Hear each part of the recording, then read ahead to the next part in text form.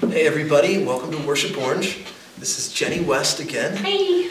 We're doing a song today, My Jesus I Love Thee, an old hymn, and then we're tagging I Could Sing of Your Love Forever to the end of it. Jenny's going to be singing the girl voice. I'm going to be doing the guy vocal parts, and we have distinguishing sweaters just so you don't get confused. Blue, Okay? pink, boy, girl. Yes. It was totally random. It was, but we couldn't help but make fun of ourselves a little bit. So here's My Jesus I Love Thee. Hope this is an arrangement that you can use.